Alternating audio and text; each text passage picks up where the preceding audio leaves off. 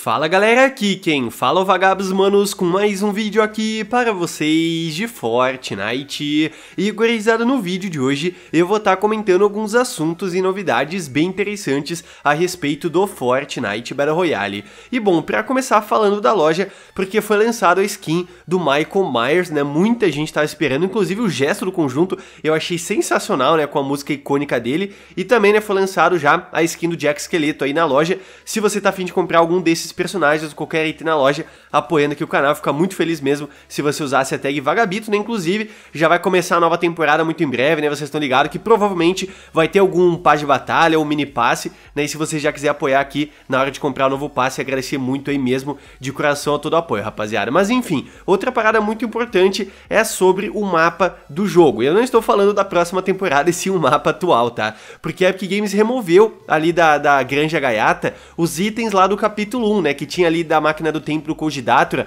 os itens lá da quinta temporada, agora eles sumiram do mapa do jogo. Por que sumiram? Porque basicamente os itens voltaram ao seu local de origem, né, voltaram ao mapa do capítulo 1, né? Então a gente pode ver alguns objetos ali espalhados, né, um cone no chão, como se os objetos realmente tivessem desaparecido e causou uma certa bagunça ali, né, nessa parte da grande gaiata, né? Mas enfim, é um detalhe importante porque, né, confirmando mais ainda que a quinta temporada vai ser o ponto de partida né, da, da, próxima temporada do jogo. Como já falei para vocês, tudo indica que as quatro primeiras temporadas do capítulo 1 não vão aparecer. Vai começar a partir da quinta temporada até a temporada X. E outra coisa é que a Epic Games está começando a distribuir para alguns criadores de conteúdo objetos do capítulo 1. Olha só que legal, o Courage, que é um streamer muito conhecido e tudo mais, ele recebeu uma placa gigantesca do Trucken Oasis, placa gigante, um objeto muito louco, né? Mais uma dica aí do capítulo 1, que acho que nem precisa mais de dica, todo mundo sabe que vai estar voltando, né, aí na próxima temporada, mas achei legal mostrar aqui para vocês também.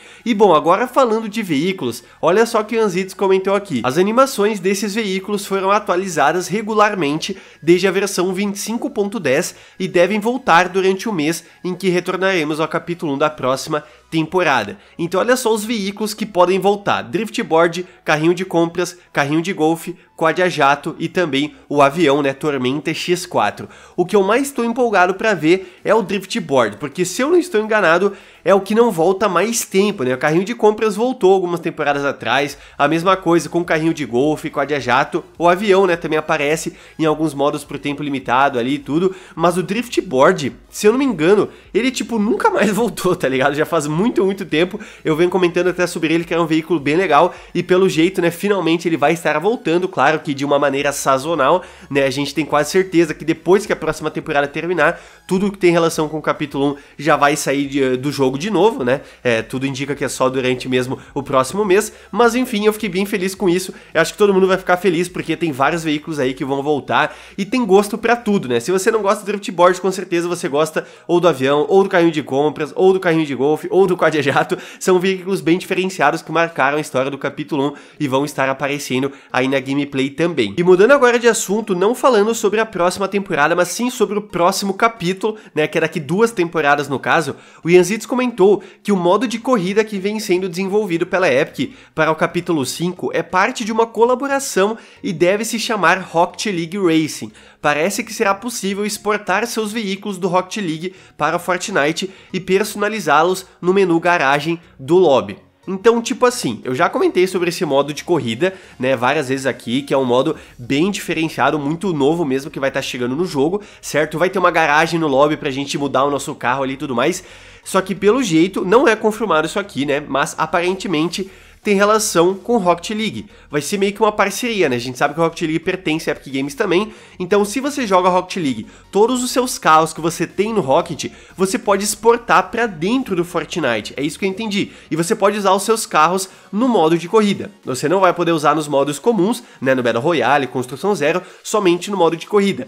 Mas aí ficou a dúvida. Será que vai ter somente carros do Rocket League aí no modo de corrida ou vão ter novos carros chegando, digamos que exclusivos do modo também? eu acho que seria legal chegar novos carros, tá ligado? Porque quem joga Rocket League, vir jogar esse modo de corrida no Fortnite é meio, sei lá, né? Porque eles poderiam ter feito o modo de corrida dentro do Rocket League, então, tá ligado? Mas enfim, né? É claro que também isso é para aproveitar os mapas que a galera cria, né, no Creative cooperativo 2.0, vai ter muito mapa louco chegando, mas enfim, achei muito interessante isso aqui. Eu só espero, né, que tem outros carros também chegando e tudo mais, não somente os do Rocket League, mas é uma notícia muito boa, né, para quem joga Rocket, afinal vai poder usar o seu carro preferido dentro do Fortnite e também, se tiver mais informações sobre o modo corrida, claro que eu vou comentar aqui, lembrando que é somente no capítulo 5 e não para a próxima temporada, ok? E a Epic Games colocou no site deles uma matéria falando sobre mais recompensas que você pode conseguir através das tarefas do Discord. Jogue num servidor do Discord com uma tabela de liderança do Fortnite e participe de cada uma das categorias do bot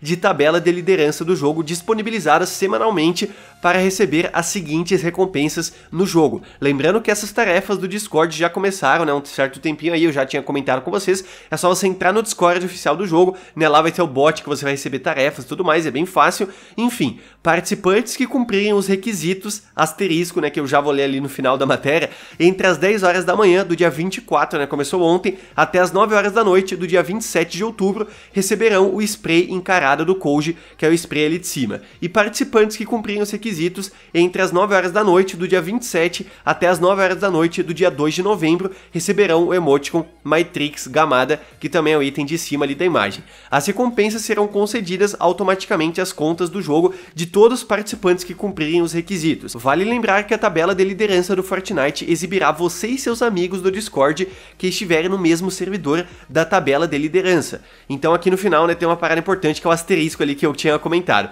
Para cumprir os requisitos, você deve ter uma pontuação mínima de 1 em cada categoria da tabela de liderança semanal do Fortnite que tenha ao menos dois participantes. As categorias são Vitória Royale, eliminações, assistências, dano causado, peixes pescados e distância de condução. Né? Então as categorias são simplesinhas, né? então você tem esse, essas datas aí né, para estar cumprindo as tarefas, se você completar as duas, você consegue as duas recompensas ali da imagem de cima, beleza? Então se você conhece alguém também né, para participar dessas tarefas, dá esse aviso aí para essa pessoa. E para finalizar, só falando a respeito dessa perk que ela foi habilitada ontem, chamada Roubo Mítico. Receba uma arma mítica aleatória, né? Então tá aí uma perk que eu acho bem legal, sinceramente, porque mexe com aleatoriedade, certo? Eu gosto disso, né? Então tá aí, você pode estar encontrando já, né? Utilizando, no caso, nas suas partidas. Mas então é isso, galera. Espero que vocês tenham gostado aqui do vídeo. Se você gostou, deixa o likezão aí, porque não custa nada e me ajuda muito. E claro, né? Mande pros seus amigos também, para todo mundo ficar ligado